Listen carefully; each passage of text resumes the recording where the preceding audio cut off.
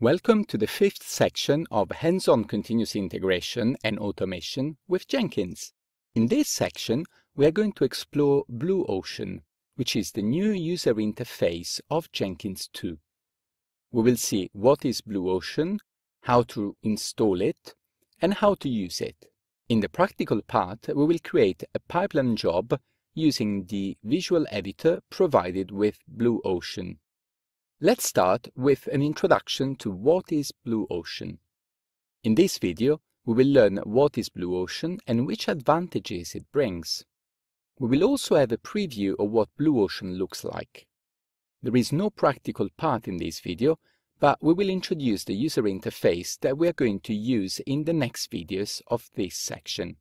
Let's start by defining what is Blue Ocean. Blue Ocean is the new user interface coming with Jenkins 2. It is designed for creating and running pipeline jobs. However, it still works well with normal freestyle jobs. It is much more visual than the classic UI and has a visual editor for creating pipelines without writing code. It also has nice visualizations, particularly suited for CI and CD pipelines. Let's see which advantages Blue Ocean brings. First, it is a much more intuitive and visual tool for creating, managing, and running pipeline jobs in Jenkins. It is easy to use for anyone in your team, no need to be a CI or CD expert to create pipelines. The visual editor makes it trivial to set up pipeline jobs without writing source code. The user interface also makes it easier to debug an issue in a pipeline job as it pinpoints where an error occurs inside the pipeline. A major feature is the native integration with tools like GitHub and Bitbucket. In particular, the ability to integrate easily branches and pull requests in a CI/CD workflow. In a nutshell, Blue Ocean is a more modern UI with a better user experience.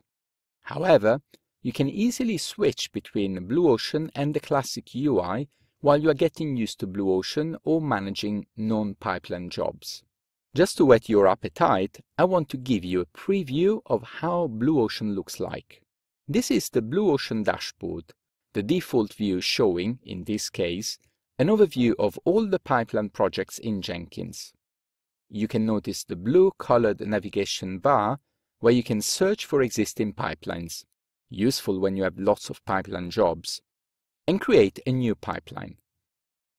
The pipeline favorite list shows a list of pipeline projects that the user defined as favorite. This list provides key information such as name, run status, branch, commit hash, time of last execution, etc. about pipelines you need to access often or keep an eye on. The pipeline list shows the state of each project in Jenkins. In particular, it shows the name, the health icon, the number of branches and pull requests passing or failing, and the star indicating if the job has been added to the favorite list. The activity view shows all the activities related to a pipeline. In particular, the navigation bar shows the pipeline names, if it has been added to the favorite list, and tabs for showing activity, branches, and pull requests for a given pipeline. The default tab of the activity view is the activity tab, which shows the latest completed or running execution of a pipeline, and useful information such as build status, number of runs, commit hash, branch or pull request that initiated the build, duration of the build, and when the build was last completed. You also have a button to rerun a specific build or stop it while it's running. One of the advantages of the Blue Ocean user interface is to pinpoint an issue within a pipeline, and this makes easier to debug an error. Here is an example of how a failed pipeline execution is shown via Blue Ocean. If a step fails during the execution, it is highlighted in the pipeline visualization, and the console log of the failed step is displayed. The pipeline visual editor is another major feature in Blue Ocean. and is the simplest way to create a pipeline job in Jenkins.